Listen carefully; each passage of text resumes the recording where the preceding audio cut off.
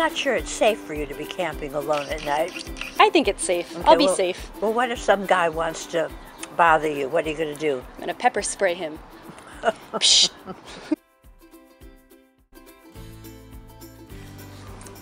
It's a very nice tent. Climb in there. Let me see what you look like inside it. Wow. So what happens if it rains? Wow. Wow, look how small that is. I am so impressed, Mia.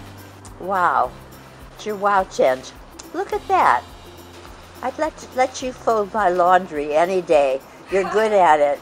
Wow. Wow. Hold that up for your camera to see that.